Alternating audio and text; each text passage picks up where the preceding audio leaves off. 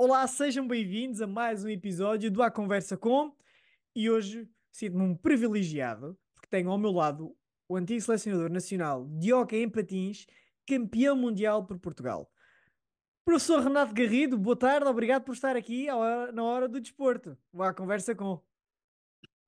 Obrigado eu pelo convite que, que, me fizeram. Eh, é com muito gosto que estou aqui para poder, eh, para poder responder às vossas perguntas e dúvidas que possam ter e falar um bocadinho também sobre a minha modalidade.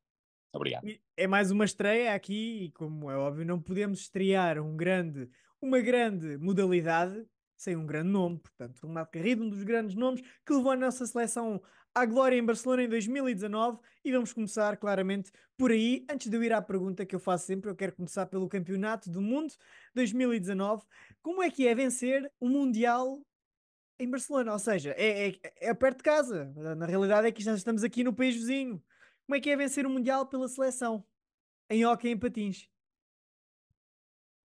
Ora bem, eh, para nós foi, foi, foi, como eu repeti muitas vezes, foi um feito inolvidável, uma coisa hum, fantástica que hum, para sempre vamos, vamos, vamos guardar nas nossas memórias. Um, o Palau é realmente também a, a meca do hockey patins em Espanha, é, é onde joga Barcelona, um pavilhão mítico, onde Portugal nunca tinha conseguido hum, aí vencer um campeonato do mundo. Uh, passaram aí os Jogos Olímpicos em Barcelona uh, e nós temos conseguido em Espanha, em, em Barcelona e já há tantos anos que não se ganhava um título, um título mundial eh, em Espanha foi, foi um feito que ainda hoje recordamos, ehm, que é, é, às vezes para aquelas memórias e para aquelas eh, pessoas que têm, ou que esquecem rápido, esquecem rápido aquilo que se vai fazendo no hockey patins, nunca foi fácil conseguirmos fora de casa um título, um título como este, onde nos enche de orgulho onde, fazendo uma retrospectiva, sentimos que foi inteiramente justo, inteiramente justo, e para mim o que vem comprovar isso foi depois o excelente Mundial que fazemos na Argentina, onde se calhar até tivemos a um nível superior de, do, que, do que tivemos em Barcelona, e não conseguimos revalidar esse, esse mesmo título mundial. Exato, na Argentina, infelizmente, em 2022 perdemos por 4-2, em casa da Argentina contra a Argentina na final, e em 2019 tínhamos ganho nos penaltis 2-1 à Argentina. Exatamente. Portanto, uhum. aqui o que é que o professor, o professor há bocado dizia-me aqui em, em off aqui, eu lembro-me e vi assim muito por alto este, esse Mundial, este último em 2022, ela deixa um sabor amargo perder da maneira que foi e todos nós vimos, os portugueses que vimos como é que foi, deixa um sabor amargo deixar uh, um título, ou seja, deixar de revalidar um título da maneira que, que o perdemos. Ou seja, jogámos muito bem e depois é o que é. Independentemente, e é indiscutível a qualidade de, de, dos jogadores argentinos. Sim, sim. São Isso é são realmente uh, do melhor que há no mundo e a, e a seleção argentina também fantástica. Uh, mas sabíamos, sabíamos, hoje tenho a certeza, uh, que tudo foi feito para que nós não, não ganhássemos esse Mundial. E, e só, quem não, um, só quem não viu as imagens, quem não, quem não recordou essas imagens, inclusive passado este tempo todo, um dos árbitros da final teve a humildade de ter vindo pedir desculpa e, por, por, pela atuação que teve. Um, foi o que eu lhe disse. Pá, na altura, tudo bem que às vezes nós possamos uh, nos enganar e há erros que todos erramos, agora uh, terem permitido que aquele jogo atingisse o nível de violência que, que, que, que atingiu, uh, foi das coisas que, mais, que mais me desagradou e, e com, com, mais tristeza guardo, guardo até hoje. Uh, fizemos um Mundial irrepreensível, onde, onde até chegar à final uh, passamos por, eh, por seleções fortíssimas, como foi a França, como foi a Itália, uh, por aí fora até, até termos encontrado a Argentina. E, e, sentimos que podíamos, podíamos ter, ter voltado a repetir, voltado a repetir esse, essa vitória no Mundial. E, atenção, que, nunca contestando a vitória da Argentina pela qualidade, pela qualidade fantástica que tem e pelas opções que tem no seu plantel. Sim, exatamente. Aliás, Portugal, Argentina e a Espanha são das melhores seleções, e se olharmos para o histórico anterior, são das melhores seleções do mundo em hockey e patins, e Portugal e Espanha da Europa. Portanto, não há como não há comparação, ou seja, a, a nível de, de jogadores, porque são excelentes jogadores, aliás, e, e alguns deles, muitos deles da Argentina, atuam no nosso campeonato, portanto, aqui em Portugal. Portanto, 90%. vamos- diga. 90%. Exatamente. Tem a medalha consigo? A medalha de Barcelona? Tenho, por acaso tenho. tenho. Consegue-nos mostrar aqui para a medalha de campeão do mundo? Aí está ela. Rinconquem. Medalha de campeão do mundo. Exatamente. Muito bonito. Essa medalha, é que- é- eu lembro-me perfeitamente, estava a ver essa final, e, quando, e no final, quando ganhamos, eu assim, mandei um berro. Eu lembro-me perfeitamente, eu estava, estava em casa a ver essa final, mandei um berro, porque eu nunca tinha visto, a última vez que tínhamos sido campeões do mundo era, tinha sido em 2003. Portanto, passado estes anos Oliveira. todos, voltar a, voltar a ser campeões do mundo, portanto, foi incrível. Ainda por cima, uma, uma das modalidades que eu também, que eu também gosto, portanto, é muito bom, muito bom mesmo. E obrigado e parabéns desde mais, nunca é tarde para dar os parabéns por, por esta grande vitória para, para o nosso país e claro, para nível de carreira é incrível ganhar o Mundial pela seleção. É, é um orgulho muito grande. Eh, para alguns, eh, poucos, para alguns poucos, que, que- que percebem pouco de desportos, parece fácil. Portanto, isto parece fácil e nós chegarmos ali e sermos campeões do mundo, faz parte. Eh, nós tivemos um trajeto, que foi, que foi Monterrey, um trajeto de vitórias, onde não perdemos com a Espanha, onde ganhamos no final também a Argentina. Eh, fomos tendo um percurso depois na fase de grupos, até à final do, do Mundial. E, eu- e temos um percurso na seleção que nos orgulha, de vitórias. Temos pena. Eu, eu, essencialmente, gostava de ter ganho mais do Mundial, pelo menos um, um europeu, que acho que aí ficavam as coisas eh, completas. Faltou-nos o europeu, ganhamos a Taça das Nações, ganhamos o Sim, Mundial. nações, a Gold Cup, exato. É uma, que é um, pronto, é uma prova que é feita eh, de preparação. Eh, tive pena de não ter ganho um europeu. Mas costumo dizer muitas, muitas vezes isto quem anda no desporto, assim, muitas vezes tiram-nos muita coisa, tiram-nos alegria, tiram-nos felicidade, tiram-nos prazer, tiram-nos, eh, dão-nos tristeza. Há uma coisa que não nos tiram é as medalhas, e é o que eu digo, estas medalhas que eu as tenho aqui em casa, guardo-as com muito carinho, porque foram conquistadas com, com muito suor e com muito trabalho. E, e estas ninguém me as tira, estão minhas, eh, foi à custa de, de- de muitas pessoas ao meu redor, jogadores, equipas técnicas, que, que- que conseguimos ganhar, e graças a Deus, eu por onde passei, posso mergulhar, quase sempre ganhei alguma coisa. Um, e guardo e guardo estas medalhas com muito, com muito respeito, com muito carinho, porque, porque olho para elas e vejo ali muito trabalho, muita dedicação, muito, muitas horas sem dormir. Um, e é um orgulho muito grande quando chego a casa, tenho ali um cantinho com algumas, com algumas recordações e medalhas, e olho para elas com, com uma sensação de que podem, podem, podem fazer muita coisa de mal, mas aqui isto é que ninguém vem buscar. Mesmo naqueles dias em que, por exemplo, sofremos uma grande derrota ou, ou as coisas não correm bem, olhamos para ali, não, cabeça fria, naquela, Claro. depois, cabeça fria, e não, não, eu já cheguei até ali, já, já conquistei aquilo tudo, com calma, vamos começar, vamos continuar, vamos parar para pensar o que é que vamos corrigir. Aquilo está ali, não é por acaso, ok? Exatamente. E agora falava aí das conquistas, e claro que calculo que essa está num canto especial, essa medalha, ou está ao pé da taça de Portugal da, que venceu ao comando do Oliveirense? Não, está tá num sítio especial. Eu por acaso não consigo tirar ali, mas também tenho a réplica da, da taça de campeão do mundo. Está mesmo, está mesmo uma ao lado da outra. E, e, e depois tenho as outras no, noutros sítios. Cada, cada medalha tem a sua tem su- o seu valor, não é? E a, e a- e a- da taça Portugal no Oliveirense também foi também foi uma medalha que, hum, que, que- que gostei muito de ter de ter ganho, apesar de também na altura que tivemos lá podíamos tivemos muito perto de ser campeões nacionais e com enfim hoje em dia eu já falo com mais tranquilidade e com mais serenidade de situações que acontecem que, que não nos fizeram se calhar lutar por um título nesse ano da, da, na Oliveirense, Eh, mas lá está, passamos por lá, marcamos, marcamos a nossa posição, também quando passamos pelo Viena, claro que não ganhamos a nível de títulos, mas naquilo que era o objetivo e objetivos do clube conseguimos, conseguimos eh, concretizar. Eh, portanto, ao longo da minha carreira fui sempre conseguindo, conseguindo realizar os objetivos por mim e pelas, pelas direções pretendidos. E a Oliveirense que sim, ficaram aqui muito perto mesmo, muito perto mesmo de conquistar o título na, naque- na época, 18, 19, na época em que ganham a, a taça de Portugal, foi ali mesmo, ali mesmo um- na luta. É um célebre golo que está, também está no YouTube. Que a bola entra completamente na baliza, mas eh, houve alguém que não conseguiu ver o golo entrar e esse golo não foi válido. E eh, foi na luz e, e podemos ter ganho com esse, com esse, podemos ter ficado com três pontos. Ficamos só com um empate que, fez -nos, que nos fez eh, depois ter dificuldades em poder ser campeões.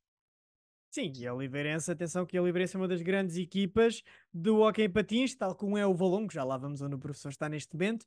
Ahm, tal como é o Passo de Arcos, que neste momento está, está na segunda divisão, temos muitas equipas do nosso hockey, que, o Barcelos, o próprio Barcelos, que estão que são grandes equipas, são grandes referências do nosso hockey, porque o nosso hockey é, para mim, é do melhor do mundo neste momento. Eu acho que temos uma, um grande campeonato.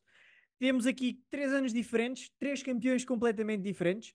Portanto, acho que neste momento, acho que, e o professor, corrija-me se eu estiver a ser errado e a dizer alguma coisa de, de errado, que acho que neste momento o nosso hockey, acho que é a mesma melhor, a melhor, a melhor liga do mundo, não? Sim, pela, pela, pela, qualidade e pela quantidade que tem de jogadores estrangeiros que são, que são do melhor do, dos seus países, quer argentinos, quer espanhóis, franceses e até mesmo, e até mesmo italianos, começamos a ter uh, seis equipas, precisamente seis equipas fortíssimas, é?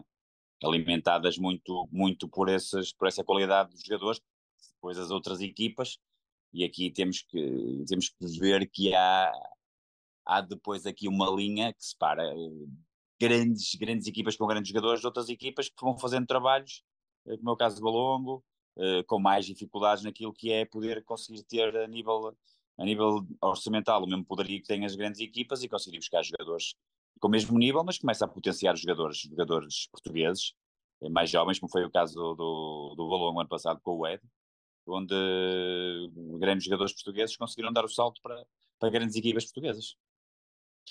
E agora vamos falar um bocado do Valongo, é onde o neste momento se encontra. Estamos a falar de uma equipa que foi campeã nacional 2013, 2013 2014, exatamente.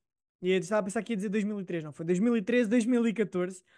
Foi campeã nacional. Este ano participou na Taça Continental, nas meias finais, certo? Em que infelizmente não passou, não passou à final. Um, e também já esteve muito, já esteve também na Taça de, de Portugal. E professor, fale-nos um bocadinho agora do projeto que é este Valongo, ou seja, após depois da sua saída da, da seleção nacional, este projeto do, do Valongo. É assim, fundamentalmente quem, quem, quem, quem falou comigo e quem me, me motivou para, para, para ir para o Valongo foi, foi uma direção que eu acredito muito capaz, né? que é, que é liderada por Miguel Vagaroso, que, que é alguém que, que eu tenho grande confiança, assim como o resto de, de, da direção, mas foi ele que me motivou a pensar, uh, a pensar uh, ir para o Valongo.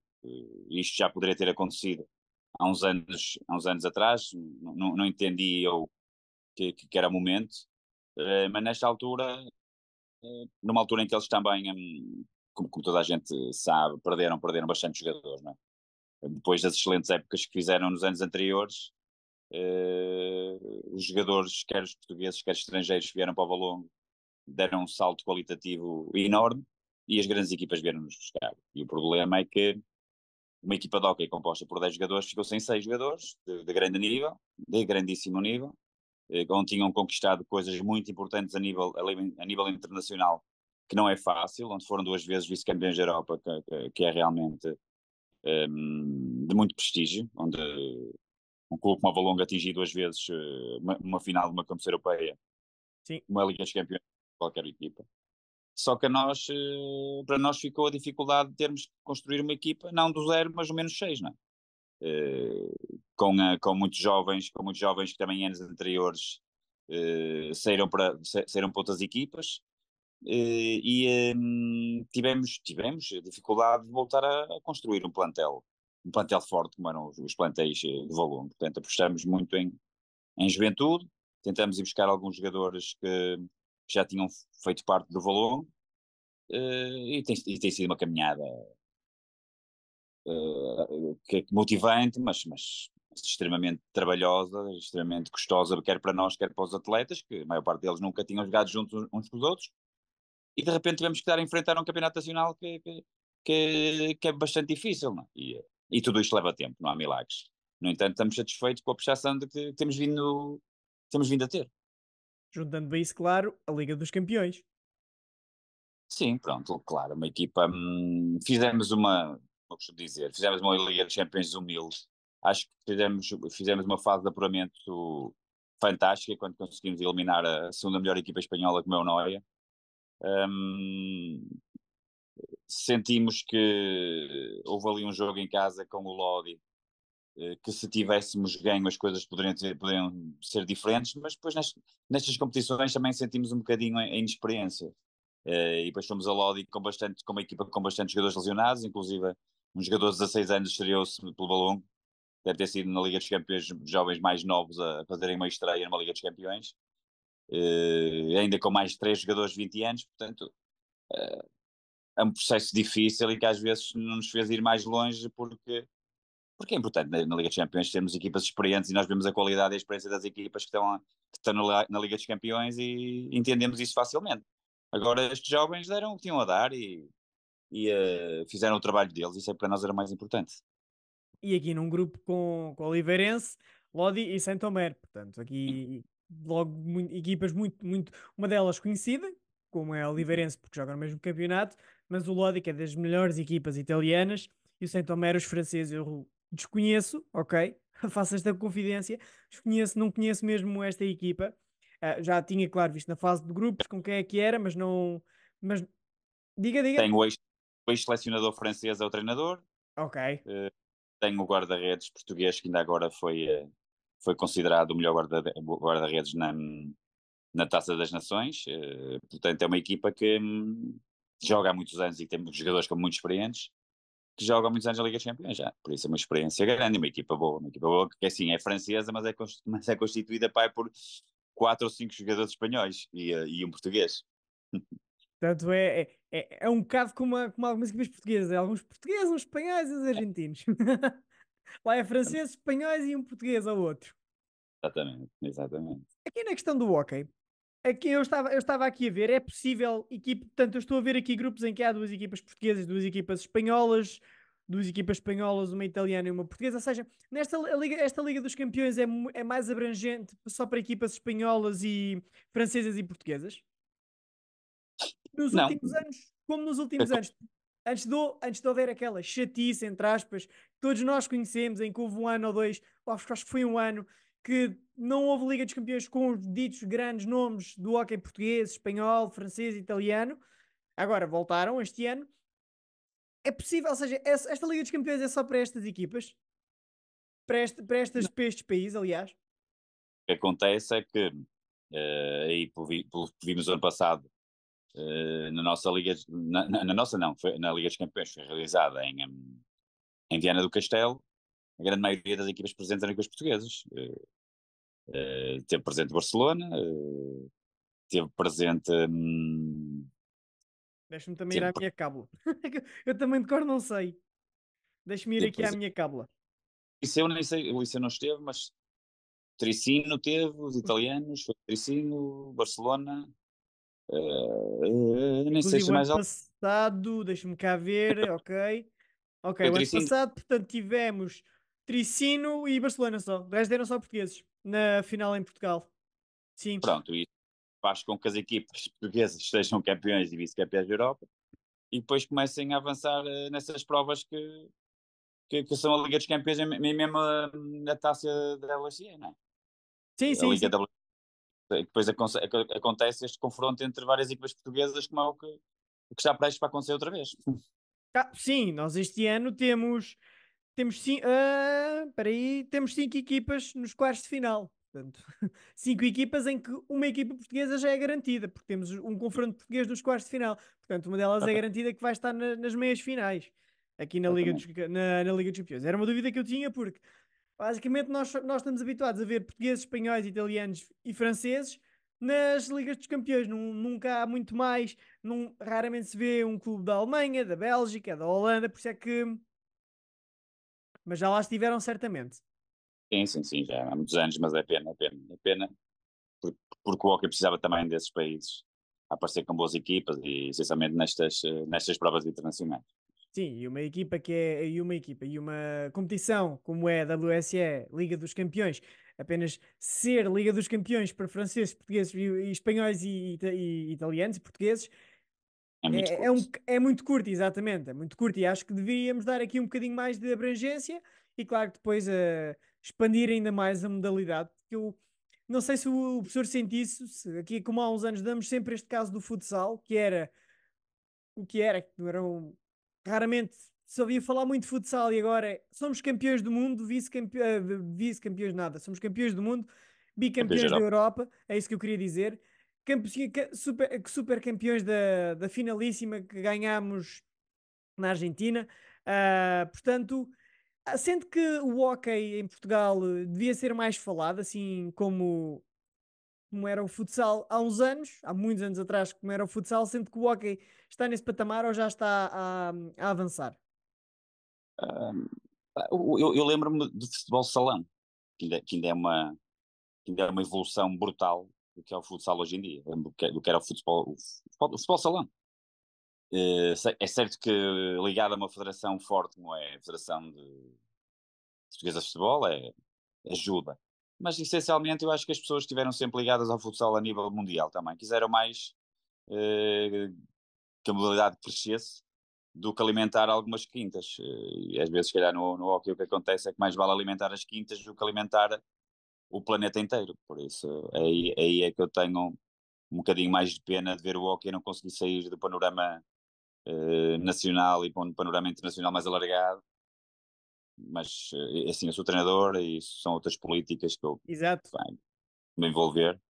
Mas tenho pena de que o hockey não dê um salto para outros países também. Falamos sobre isso, muita gente fala sobre isso. Sim, sim, sim. Uh, tento fazer algo sobre isso, mas não sou a pessoa indicada, se calhar, para, para falar sobre sim, isso. Exato, é uma, uma visão enquanto, enquanto treinador e, e o que pensa relativamente à, à modalidade. E agora, vamos falar um bocado sobre si. Eu é, desta vez troquei as voltas de propósito. Gosto de trocar. Okay. Às, vezes, às vezes convidados vêm preparados e eu gosto de os surpreender. Quem é que é quem é o Renato Garrido? Que é a pessoa que esteve connosco até agora. Queremos, agora que a queremos conhecer, para além do seu. Já conhecemos o percurso, mas quem é que é a pessoa? Eu, eu considero, considero que sempre igual a mim próprio, nunca, nunca mudei em nada. Uh, e os valores que me foram sempre transmitidos desde, desde criança também estão aqui bem vincados. Sou tranquila, que gosta de ter uma vida tranquila, que gosta de, de se divertir como outra pessoa qualquer que adoro o que faz, tenho a felicidade de poder estar uh, num desporto que, que adoro, tenho a sorte de ter uma profissão que é ser professor de educação física, que foi sempre das coisas que eu quis fazer na minha, na minha vida, portanto estou ligado ao treino, estou ligado a ginásios, estou ligado ao ensino, uh, estou ligado ao desporto, portanto sinto uma pessoa realizada, tenho, tenho, tenho dois filhos que me orgulho bastante, também uma família, uma família espetacular que me ajuda bastante, uh, e é viver nesta, na simplicidade que eu gosto de viver, não gosto de viver na loucura, nem na nem na exuberância, gosto de ver na, na tranquilidade e fazer o meu caminho, como acho que tenho feito até agora. E agora falava que é professor e os seus alunos reconhecem-no quando o vieram pela primeira vez. O professor, o professor Renato Carrido, professor, é, o professor não foi o professor que ganhou o campeonato do mundo de hockey com a seleção. Já lhe aconteceu? Ah, sempre. Todos os anos me acontece. É verdade que até 2019 eu era conhecido no hockey, não é? Era mais conhecido pela malta do hockey a partir de 2019 não, porque, porque realmente todos nós que estivemos naquele campeonato do mundo uh, tivemos uma visibilidade muito grande e hoje em dia com as internets, com as redes sociais uh, fez mesmo com que se tornasse uma coisa incontrolável, sou, sou, sou, sou sincero que houve alturas em que eu tive que dizer que não a muitas eh, entrevistas deste género, e, a, na altura da pandemia, e a, e a muitos uh, programas, porque epá, era demais e eu e eu gosto também de estar tranquilo, como, como disse, e um, tivemos uma visibilidade, uma visibilidade que eu próprio não estava habituado, ao princípio foi assim um bocadinho uh, estranho, bastante estranho, e hoje em dia é verdade que na faculdade, quando vou dar aulas, principalmente as pessoas são ligadas ao desporto, me reconheçam e até às vezes em, em outras situações que me reconheçam daquilo que nós fizemos em Portugal, e, e nesse aspecto eu fico satisfeito, porque acho que com o nosso trabalho, com aquilo que, que, que, que gostamos de fazer, conseguimos já uma alegria uma alegria aos portugueses fantástica, não é todos os dias que se é campeão do mundo, ao contrário do que ao contrário do que, do que aquele do que aquele parolo, como eu costumo dizer, chama-lhe mesmo parolo, acha que, que anda no desporto e, e, que hoje em dia é fácil ganhar títulos, ganhar seja o que for, não é. Hum. Não é. Se fosse fácil, nós ganhamos, íamos lá muitas vezes e ganhamos lá muitas vezes. Agora, eu por acaso temos uma relação muito boa com o Paulo Sá, com, um, com o próprio Barás, uh, Uh, o, o, Paulo Sá é, é, é, o, é, o, diretor técnico nacional de, de, de handball. Que, eu, eu já esteve aqui também, curiosamente, na altura do europeu.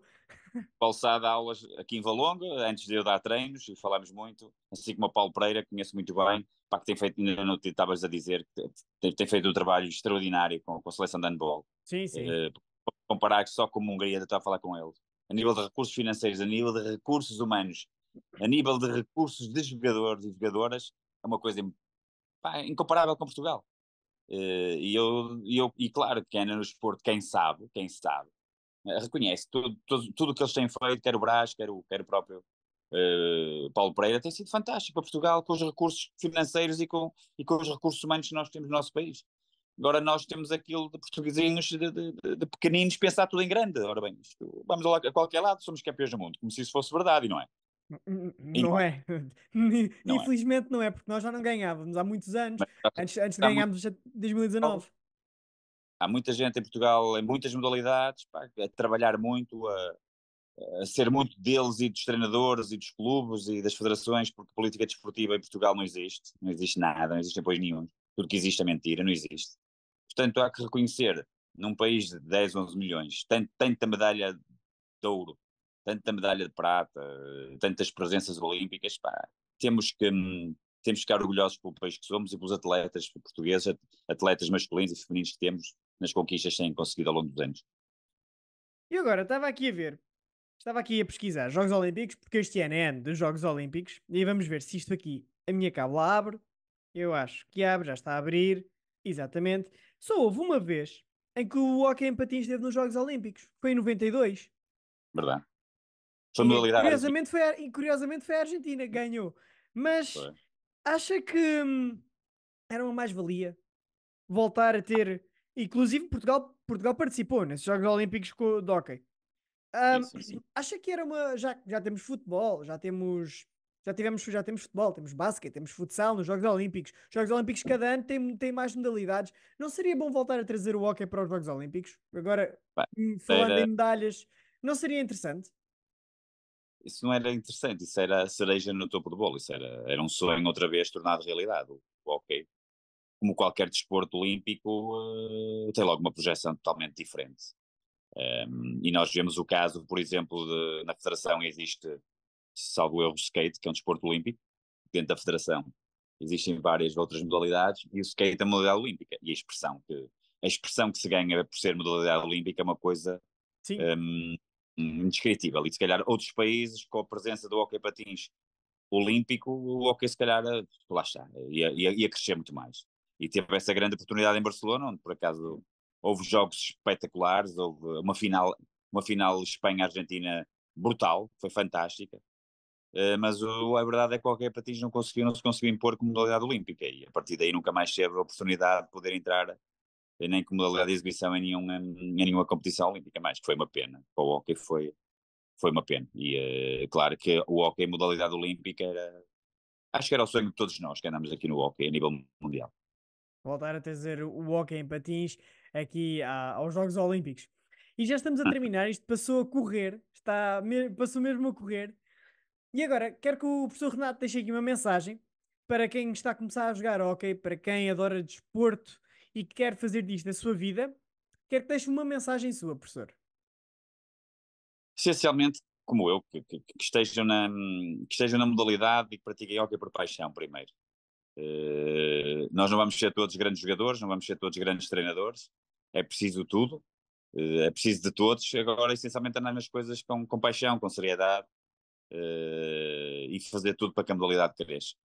Eh, quer para jovens jogadores, quer para jovens treinadores, fazerem as coisas com gosto, essencialmente, com paixão, eh, com compromisso, com foco, eh, e deixarem que as coisas aconteçam naturalmente. Quando estamos assim na, no desporto e na vida, estamos mais perto do sucesso. E é isso que eu acho que é fundamental, é estarmos com, paixão nas coisas, na, naquilo que fazemos. Ok, professor. Obrigado mais uma vez. Deixe estar aí, assim que terminarmos a entrevista, vou falar consigo. Mais uma vez, obrigado por ter estado aqui. Foi um privilégio enorme falar consigo. E quando vocês já sabem, mais um episódio da Hora do Desporto à Conversa com feito. Nós voltamos a ver no próximo episódio. Será podcast ou será a Conversa com? Fiquem para ver e até ao próximo episódio. Mais uma vez, obrigado, professor. Obrigado.